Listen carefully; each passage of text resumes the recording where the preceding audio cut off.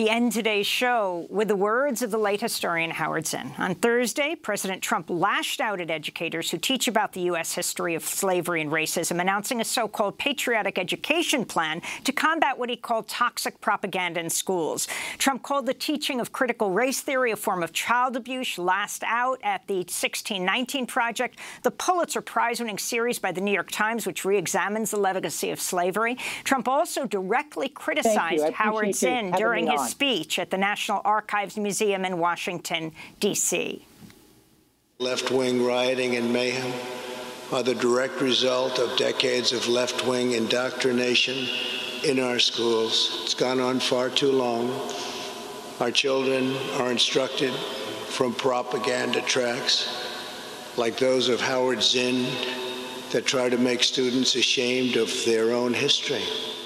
So we're turning back now to 2009. Howard Zinn appearing on Democracy Now! less than a year before he died. He just published Young People's History of the United States. I asked him to respond to a question he'd frequently been asked about his work. Is it right to be so critical of the government's policies of the traditional heroes of the country?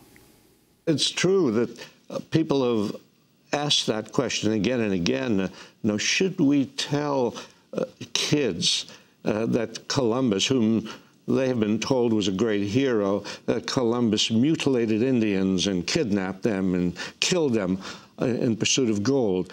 Should we tell people that uh, Theodore Roosevelt, who is held up as one of our great presidents, was really a, a, warmonger who loved military exploits and who congratulated an American general who committed a massacre in the Philippines. Should we tell young people that? And I think the answer is we should be honest with young people. We should not deceive them.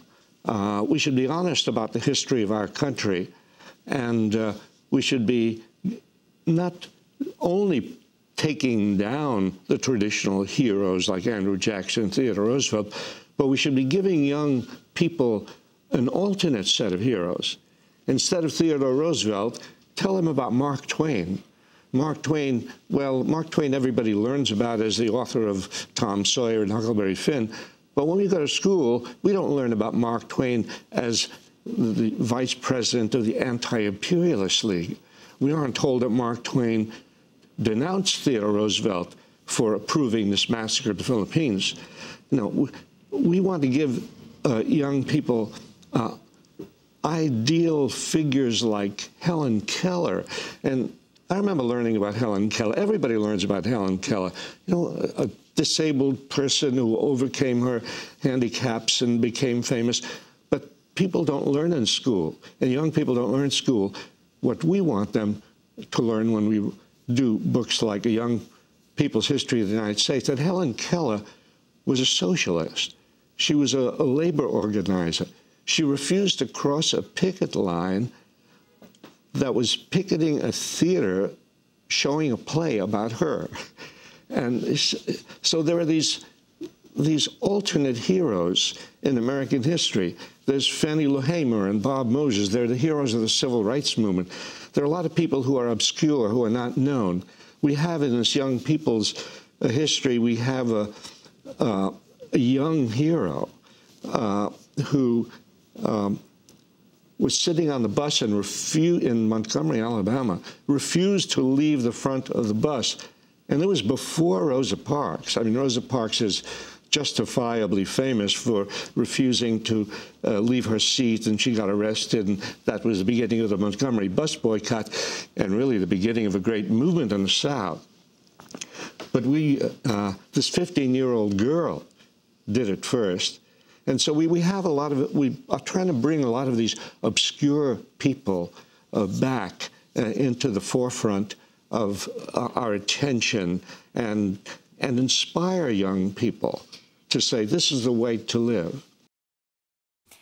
That's Howard Zinn appearing on Democracy Now! in 2009.